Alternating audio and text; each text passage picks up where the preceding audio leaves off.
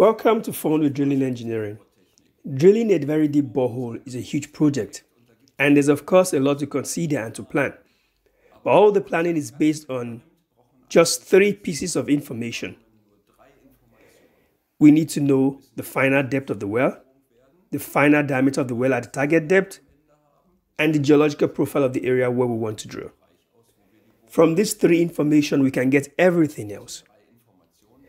Here, we have an imaginary geological profile. In this profile, we can easily draw our borehole with its final depth and diameter. That is the blue pipe you can see behind me.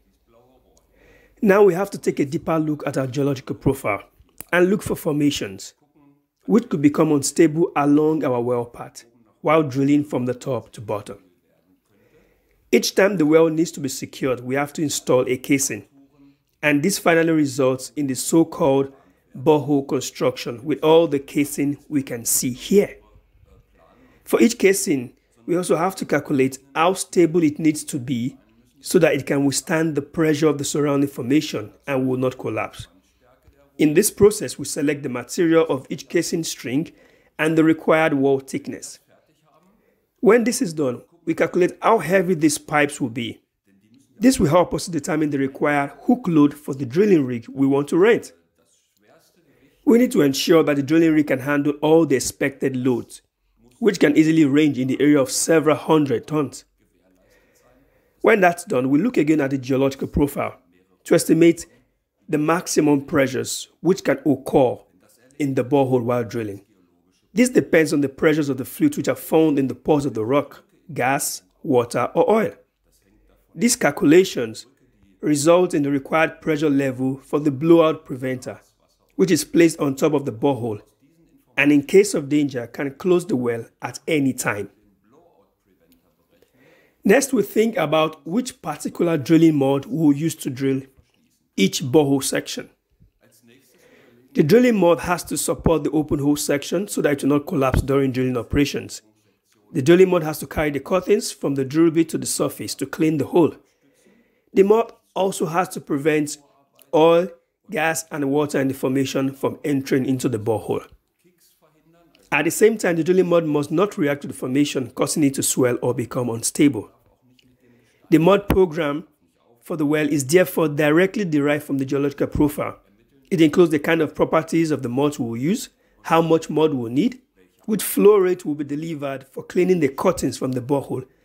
And finally, we can calculate the required horsepower for the mud pumps on the well site, which will use to circulate the drilling mud through the borehole.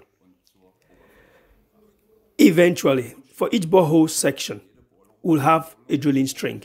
The drill string has to transmit torque from the rig to the drill bit and pass it onto the bottom of the hole with optimum force.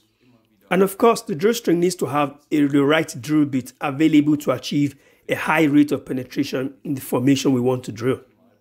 So again, the design of the drill string is derived from the geological profile.